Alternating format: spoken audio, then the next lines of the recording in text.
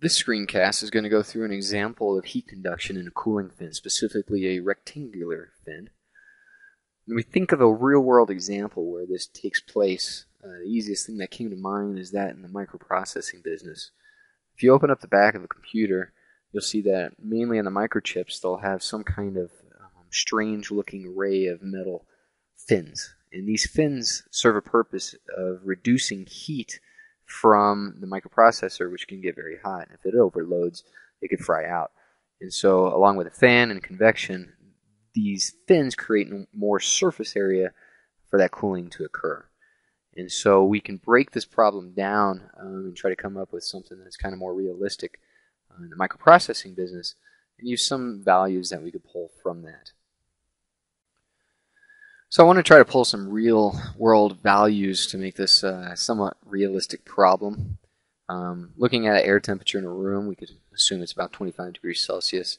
And I've looked up the value on some of the, as hot as these microprocessors could get, and I've seen it upwards of 100 degrees Celsius. Um, since they're mainly, these fins are mainly uh, made of aluminum, we could say that uh, thermal conductivity of the fin will be about 160 watts per meter Kelvin. We could look up the thermal conductivity of air, which is 0.025 watts per meter degree Kelvin. Um, the heat transfer coefficient in this situation will just come up with 80 watts per meter squared Kelvin. That may or may not be too realistic, but hopefully in the ballpark. Um, a length of a fin, about 5 centimeters, width of a fin about the same. And then the thickness itself, a uh, whole different order of magnitude, about maybe 2 millimeters, maybe a little larger, but that seems about pretty, pretty good. So the problem in this case that we're posing is how much heat can be removed from the microprocessor from using these kinds of fins with these properties. And so first thing we want to do is start with a diagram that we will fully label. Once we have our schematic, we're going to choose an origin, and that origin here is going to be in the center of our fin so that our x direction will be down the face of the wall, our y direction will be um, along the other face of the wall, parallel to the end of the fin, and our z direction will be down the fin. So our wall temperature, TW, um, will be at where x equals 0, y equals 0, um, z equals 0, but also for all of y and all of x. So really, we're just looking at the z equals 0 in that case. Our air temperature we said was 25 degrees. Um, so then we need to set our, in this case, our thickness. And we're going to say it's 2b uh, the reason we're going to say it's 2b is since we chose x in the center of the fin, um, b will be our, our thickness in both directions um, from that origin. So that hence it's 2b. Uh, we also need to label the width of our fin and the length of our fin. And we have values for those, but we'll just label them W and L for now so that we can set up our equations. So we have our labeled schematic at this point. The next thing to do is think about what the question is asking. We want to calculate the heat loss from the faces of the fin. To simplify this problem, we should probably list our assumptions. So our first assumption, to, to make it easier to calculate, is although we know temperature is going to be a function of position x, y, and z, it's predominantly going to be changing in the z direction. And so we could kind of disregard any changes in the x and y direction, just focus on z. The second assumption that we're going to make is is where the heat is coming out of the plate. We know that uh, it will leave on all of the edges, but because the dimensions of the thickness are so much smaller than the other dimensions, we could say that the edges of the fin, the 2BW and the 2BL, are much smaller in area than the face of the fin, the width times the length.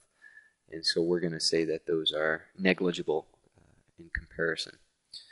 And then the third and final assumption that we're going to make is we know that the, the cooling is predominantly from the surface to air, and so we're going to go ahead and use Newton's law of cooling and say that although the heat coefficient may be a function of position, we're just going to say that the, the heat flux in the z direction is going to be equal to a constant heat transfer coefficient h times uh, difference in temperature t uh, function of z minus t of air.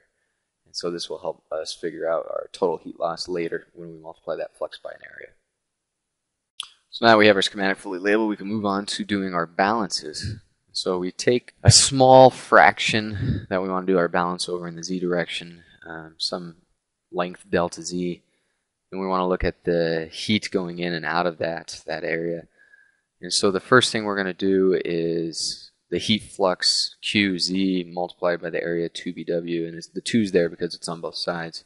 Then we'll subtract out the same um, heat loss at the Z plus delta Z position. And this would typically be equal to zero, but we have to account for the heat losses on the face of the plate to the air, and that's going to be related to Newton's law of cooling. So that's just H times the area, which is 2W. It would be L, but since we're doing the delta Z, we need to account for the delta Z area. And then that's just times the temperature difference, T minus T air. And then this is all going to be equal to zero. So at this point, now that we have our energy balance, we're going to just divide um, all sides by the 2BW delta z term. And as we take the limit as delta z approaches zero, that's going to leave us with an equation that looks like the following. So we have a first order differential of the heat flux in the z direction with respect to z.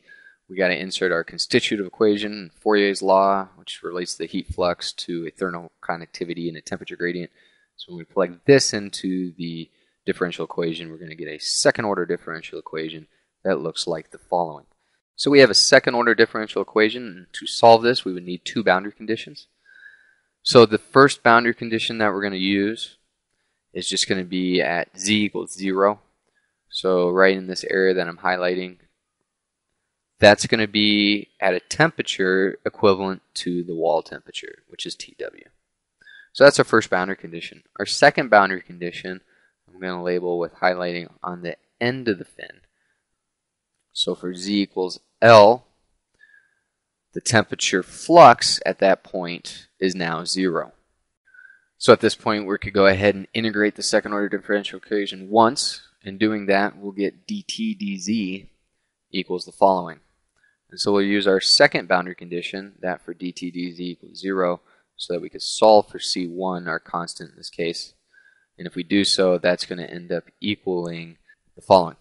So then we can plug C1 back into the equation, and we can integrate a second time so that we get our equation relating temperature to Z. When we do that, that's what it looks like, and we could use our first boundary condition for Z equals 0 to cancel out the first big two terms, and that will just mean that C2, our other constant, is just going to be equal to the wall temperature, TW. So now we have our temperature equation in the Z direction. I'm going to put that on a new page and I kind of want to show you something when we look at this equation. You can see that there's a lot of different variables that have similar dimensions.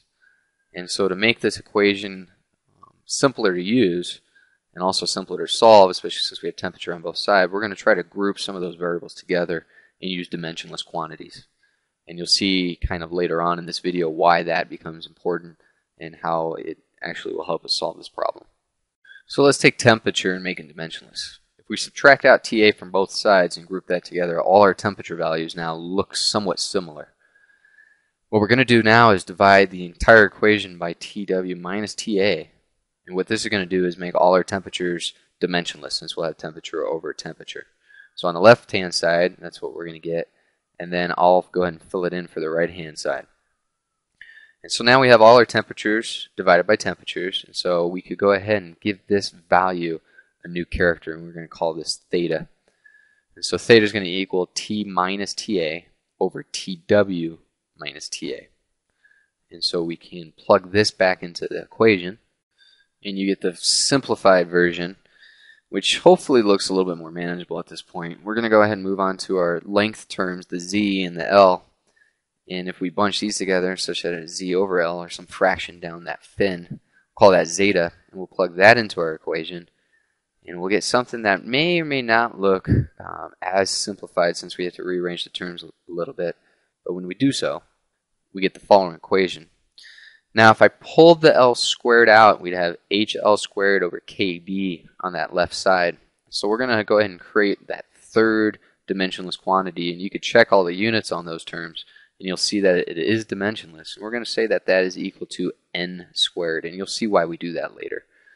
Um, and so when we do that, we get a final dimensionless equation which will relate temperature to z as the following.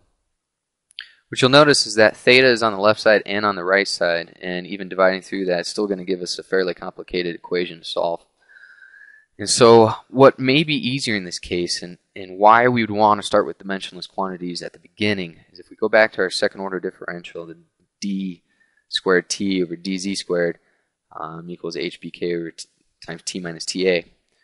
If we would go ahead and make this equation dimensionless, plug in these dimensionless variables into that, such that we get a d squared theta over d zeta squared, what would that look like? And if we do that, it may be that it's a lot easier to solve. So how do we transform the left side to the right side? Well, we could do a little bit of chain rule manipulation of the derivatives.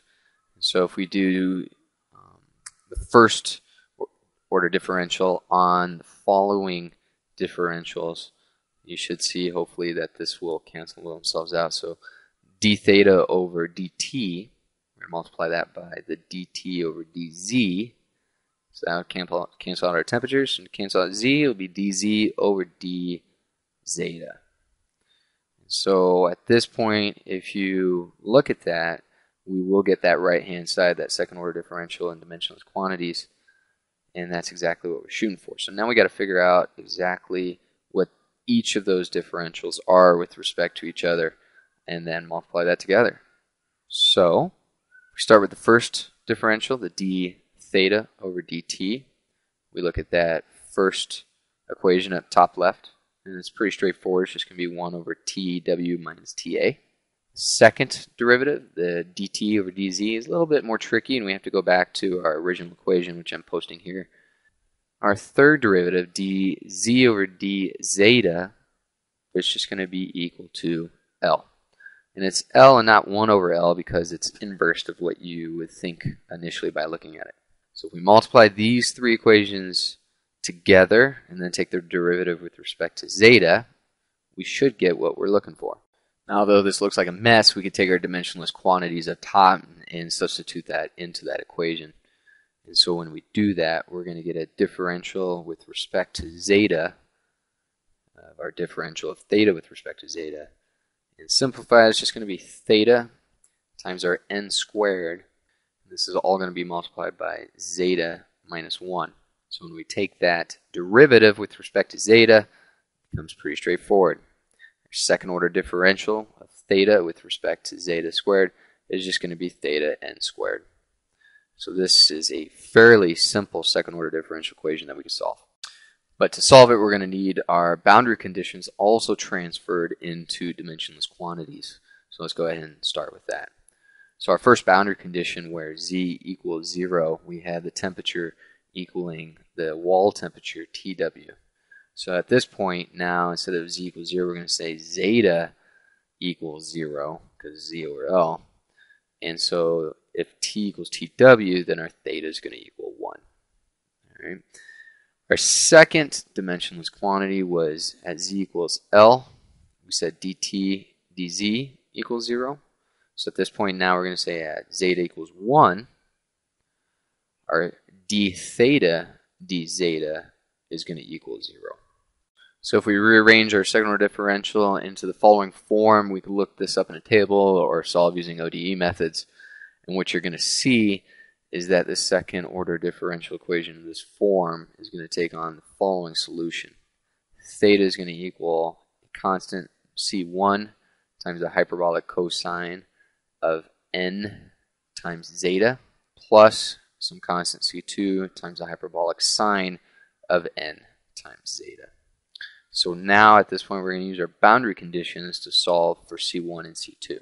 So I'm just going to put up the hyperbolic cosine and hyperbolic sine just to help remind everybody. It might help you solve this if you're doing this on your own. So using our boundary condition, theta equals 1. This is at zeta equals 0. So we plug in zeta equals 0, we're just going to see that C1 is equal to 1, which will simplify our equation a little bit. For the second boundary condition, we have to do d theta with respect to zeta, and that was equal to 0. So if we take the derivative of our theta, it's going to take on the following form. And we're going to plug in zeta equals 1 and then solve for C2. So when we do this, C2 is just going to equal the following. So when I simplify all this together, we get our solution for theta. So this is our dimensionless quantity solution. But this doesn't answer our original question of the heat losses from the fin. So we're going to create a new variable which is just going to be a ratio of the actual heat loss in our fin compared to that in a theoretical fin, one that's simple to calculate, say an isothermal fin, where it's just going to be related to the temperature difference from the wall to the air. Now the reason we do this is we could basically figure out what the heat loss is in an isothermal case multiply this by our effectiveness factor to get an actual rate loss. So our heat is just going to be related to the heat flux times the area at which that is occurring. So if we plug this back into our equation, the way this is going to end up looking is over the entire fin, we have to integrate it. So it's going to be from 0 to the width of the fin, from, and then integrate 0 to the length of the fin, and then it's just related to that Newton's law of cooling. Uh, we said that before in our assumptions, QZ was just equal to H times the difference in temperatures. And so if we plug that back in, it's just going to be T minus TA. We're going to integrate this in the Y in z directions. So this is our actual rate loss. In our isothermal case, it's going to look very similar. It's going to be from 0 to W and 0 to L. Um, but in this case, it's just going to be TW minus TA, dz, dy. And if we plug in what our dimensionless quantities look like in our solution from above, we have our effectiveness factor basically equaling 0 to 1 of theta d zeta and this is just going to be 0 to 1 d zeta. When we solve this, our solution is going to be the hyperbolic tan of n over n. So now what we could do is go back to our heat loss problem in the beginning. We could summarize all the information we have, and remember that our heat is coming from the sides of these fins predominantly, and we've related uh, that heat to the heat flux times an area. In an idealized case, our heat is going to be H times TW minus TA. This is where the fin is isothermal. We just mentioned that in the effectiveness factor calculation. So we could we have these values H, TW, and TA, and we could plug this in and solve for Q. Um, we also know the area, and the area is just going to be equal to the width of the fin times the length of the fin times 2, since it's happening on both the top and the bottom. So area is equal to 2 LW. So we plug all this in, and we can find our Q value. And our actual heat loss is then just going to be multiplied by the effectiveness factor, which would get rid of the denominator that we set up initially. So when we simplify this out and plug in some of the values, hopefully this is what you get in terms of numbers. And then when we simplify this out, you should end up getting about 15,000 watts, or otherwise 15 kilowatts. So I can't say for certain that this is a realistic value. It'd be interesting to compare to actual fins used in the microprocessor industry, but hopefully this kind of setup in these estimations for numbers gives you an idea on how to set up this kind of heat energy problem and solve for a rectangular fin.